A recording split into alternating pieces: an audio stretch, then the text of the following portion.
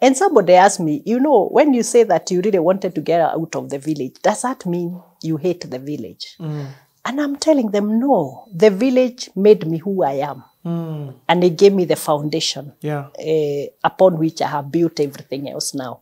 So I love the village. Even today, I go back. Mm. I, I still have a house there.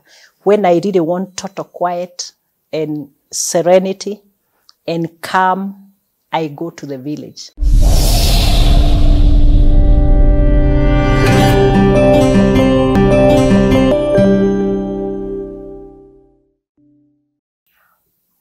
Two. I promised you value in this CTA. We have just started, but it's already of excess value. If you're catching us here, do your life a favor. Go back and start from episode one. Don't don't don't just let the title of this uh, episode make you start from here. Okay, Mary, let's continue with this story. We were entering high school. Can go free. Can go free. Can go free. Can go free. but before we get there, I want to understand uh, growing up, and also I even want to understand more about primary school because uh, how was it for you? How was primary? So paint me a picture of the community that you're growing up, neighbors, your siblings, the relationship you have, and then after that, also paint me a picture of school. It's primary school. Yeah, okay, thank you. Um, it's quite a lot. But let me start by saying that life in the village was super. It was great. And, and, and, and I don't want to qualify it because I would say we didn't have much in terms of money. But in terms of food, eh, because uh, remember we had a farm and, and most of the villagers had farms anyway. So there was a lot of agricultural activities. Subsistence like- living, so you would eat what you're planting. Subsistence, yeah. Oh, so like yes. would grow um, uh, potatoes, maize, beans, uh, vegetables, all were from the farm, organic. So it would have been very good today when we are talking about organic uh, uh, products. So we did a lot of farming. Now, during the holidays, there was no choice but to go to the farm. And even during the school term, like um, we also had cows, dairy cows. Yeah, yeah, yeah. And for some reason, Kenya Cooperative Creameries used to come and collect the milk at 4 a.m. 4 a.m. 4 a.m. Okay. What that meant is that you had to wake up at 2 a.m. to milk the cows and make your way to the collection center. So, so, and sometimes I also say that probably also um, has really affected the way I run my day, even today. I'm a very early riser because I started from when I was very young. You have to go milk the cows and then make your way to to the center to deliver the milk and it will be collected. We also had coffee. Uh, coffee was a cash crop, as you are mm, aware. Mm, mm. And the factory was not very far from my home. So you you you you have to do what you need to do, whether it's taking care of it, uh, picking it, spraying it, and of course harvesting and taking to the center again. And we all used to do that, boys, girls. Now, also that time, we all used to cook, whether it's boys, whether it's girls. Eh, the, the chores were for everybody. So mom would tell my brother Matthew, "It's your turn to go and cook lunch." He's been in the farm, but then he said, "Go ahead, cook lunch for us, for everybody else." So the chores were divided like that, eh, feeding the cows and all that. That was every child in the village used to do that. So probably that shaped our work ethics in a way. Yes. Now, it was, um, so the food was in plenty. And of course, we had our cousins. That time, uh, the families were operating in a very social environment. So your neighbors were your The neighbors relatives. were like my relatives. Yeah, my uncles were there, and my second cousins, the first cousins. Everybody was a relative close to me. But then there were other families who were not necessarily. And you remember also we had the um, the clan, which mm. is the extended family, like my grandma, my grandfather's um, half brothers. They are also there within the vicinity. So it was a very large family, and everybody used to look out for each other. And we used to receive a lot of advice from those old men and women because they, they would visit our home. Eh, one of the pastimes was my mom would cook tea and then with a kettle there, the people would come, they talk as they sip. Sometimes she'd tell us stories.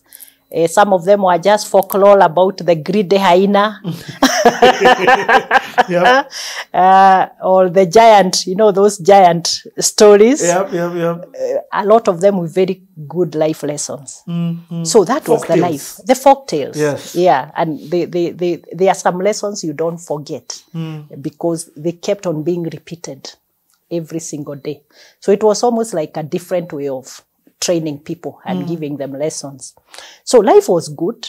You know, you've just said something so powerful. I tell people part of the reason why I do this show Yes. because as Africans we're storytellers. Yes. that's how information, Naturally, yeah. morals, uh, values, all of these things were passed down. Yes. So I am. I'm, it's so good to hear somebody you say, identify with that. Yes. Yeah, that, yeah. that Yeah, so mom would tell us stories like uh, she used to tell a story about the greedy hyena. And uh, you know, there that's the hyena who who who smelled some nice meat somewhere, and then he decides to go and look for it where it is, and then he gets to a crossroad. Uh, The road is going in two different directions, so he's wondering, oh, should I go this way or should I go this way? And then if I go this way, maybe it's on this other. So which one? Then he decides now to take both. and he goes, he goes, and of course the road is widening, and eventually he dies because of his greed. So she was like, "Don't be greedy. Just take one route. It might land you there. If it's not the correct one, you will come back and then Yes. you take the other one." so those were the kind of stories, very graphic, uh, that she used to tell us. Now, um, there was also a lot of fun and a lot, a lot of community work. Like uh, we had uh, the usual when people used to till the land, they would uh, come together. Like our land needs to be tilled, so all my friends, and my brother's friends in the village, they would come. We all do it together. We finish, then we go to the next one. So you know, it's like harambee. You know, communal. Yes. communal. Yes. So we do one land, we finish, go to the neighbors, finish, go to my cousins, finish, and the parents are there cooking for us. That's how the work used to be done. So it is done very quickly. So in one day you could actually do like three farms or something. Then you finish and go to something else. So there was a lot of that community work for the better. And then uh, the other aspect was the entertainment. Now, it so happened that in my village, we had uh, a mobile movie theater. A, mobile movie theater. Yes, in a place called Kamakwa. Uh, Kamakwa was the like the sh- the bigger shopping center. Um, right now, is it's a quite a fairly big town in the a suburb in Nyeri town. Uh, so a lot of the um, of the salaried workers who work in town reside there. So it's a highly growing area. So there are these guys who used to bring the mobile uh, theater. So they would just come with those um, um, those old movies of Bond you know, for entertainment Yep. for the villagers. But you see, my mom was very strict. So Oh, she was saved. She was, she was, she the was a Catholic strict Church. Catholic. Yeah, yeah. she's so like, hey, for me, going there was a no-no, even for my brothers. even for my brothers. So we were not allowed to go. But those who were going, my cousins used to go. Their parents were a bit more lenient. Mm. So they would tell us stories about, you know, what they are showing. Oh, this movie, Bond, I don't know, he killed who, I don't know what, you know. Very interesting. But there were also some mischief because uh, some of the people would go there because it used to be in the evening, like around seven, and the place now, you know, they have to put off the lights because uh, they need it to be dark Yeah. for the screen. So there are people who used to just go with the rotten eggs. And when the movie is uh, going on, They just throw. Ah, And you know how that thing smells. so some of my cousins were just like, oh, I was really hit on the head with that with that rotten egg and you are smelling all over. so so the mischief guys were still there, Yeah. even that time. Yeah. And and when you look back, it was probably fun, uh, but. But there was also one item that was uh, historic. Every Easter, Uh-huh. we used to have safari rally. Hey, I'm not sure where Safari Rally went. But now. it's back. Oh, it's back, but it's but not it, the same. have that boom. I don't think it's the same. Yeah. So everybody used to look forward to Easter, and Easter was always very wet uh-huh. for some reason. There was a lot of rain, and you know the roads were not very good like mm. they are now. Mm. They were not tarmacked. Right now, the roads in the villages are tarmacked, mm, and they are very good all weather. So that time it was muddy, muddy, muddy. So the Joginder Singhs, the Shekhar Mehta, those were household names. it was called Shekhar Mehta. Yes. so they were household names, Yeah. and uh, people used to look forward to that. Tunjiro a bit it later was on. a community thing. Yeah. So if we'd all go to the road, we know the schedule.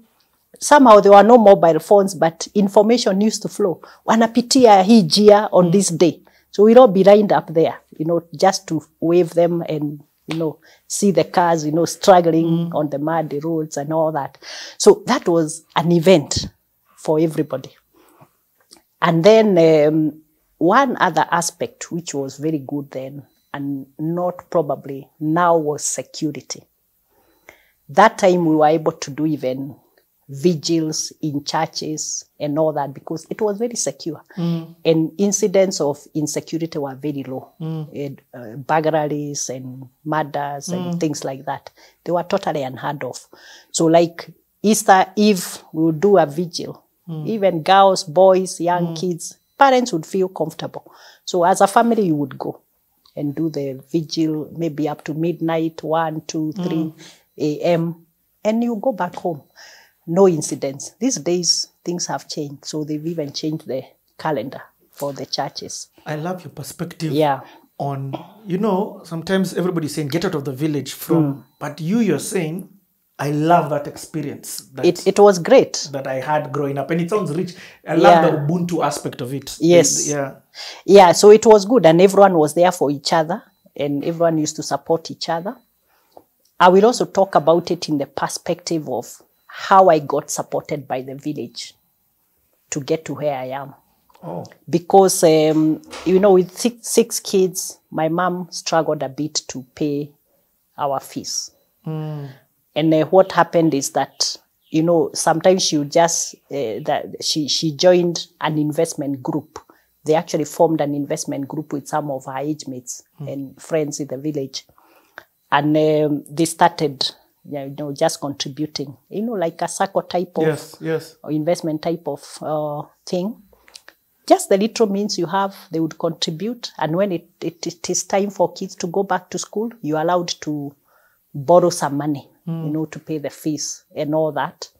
And you'd also get some deficit from some of the members, those who are not too badly off. So that is how our fees was paid. This is this is high school. Yeah, high school Yeah, because, because- now there was money to be paid in high school. Yes. Primary school it was okay yes. because it was free, other than the building fund. Yes. So secondary school got a bit tricky, and at one point we were three of us Oh, okay. in secondary school, so it was tough. Now, um, that was one aspect. Now, the other aspect was, of course, um, the relationship with the larger family. And this was very solid because, like, over the holidays, I would go to visit my auntie. My auntie was married, now my mom's sister was married uh, still in Nyeri, but quite a distance off. It's a place now where you had to take a vehicle to get there Okay. in a place called um, Itheguri. Uh, right now it is Tetu constituency Okay. uh, administratively. So I would go there for the holidays. And when you go there, you know, your cousins, they are like your brothers and your sisters. And I would take sometimes the whole holiday that auntie used to love me, and I used to love her because I'm named after her, Mary Wangari. Yes. So we used to go there, and over Christmas, uh, my cousin used to rear pigs.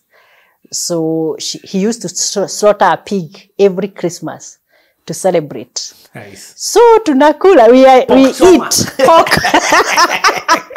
and I don't know whether you know the downside of eating, uh. the, the- you know, that fatty, uh, the fatty part of You, the you, you visit the, ah. So in the evening, you have a long queue to the washroom. but I guess it was part of the fun. Yes. So, so that was so life in the village hmm. Was very good. Okay. And somebody asked me, you know, when you say that you really wanted to get out of the village, does that mean you hate the village? Mm. And I'm telling them, no, the village made me who I am. Mm. And it gave me the foundation Yeah. uh, upon which I have built everything else now. So I love the village. Even today, I go back. Mm. I, I still have a house there. When I really want total quiet and serenity and calm, I go to the village. Yeah. Is this And simply I've you go, you go back to the same place where you grew up? Yeah, yeah, yeah. Yeah, the same house. Wow. Of course, you know You when upgraded we upgraded it uh, when my mom was alive, Yes. when we started working. Yes. So it's not the same Of right course, house yes. house, but it is there. So since she died, uh, we use it. I use it when when I'm in the village. Nice. So it's a it's a great place, and that's where also some of the values have remained. Yeah. That is where when I am there and people know I'm there, they still come without an appointment. Mm. Yeah, yeah. It's not like the bank. it's not like the city. ah, she's here. I'll come. Ah, Agodi. They'll come in and say hello. So I love the village because of those values that I took out of it. Now, the only thing I said about walking out of the village was the poverty The Poverty aspect. And the lack, you know, the want. That's what I walked away from. And, and I'm happy that I did. Hey Mary, your story is powerful, and I'm and I'm enjoying every bit of it. Let's transition into you do extremely well in CPE primary school, so well that you are the top student that the school has ever had. Yes. Uh, you go to uh, Come Go Free School, high school. yes. Uh, is it a boys' school? Just because now I'm not sure anymore. now, now let me put you to rest. Now, Kangubiri is a girls' school. Oh, phew. It was it was uh, presented as a girls' school. Okay.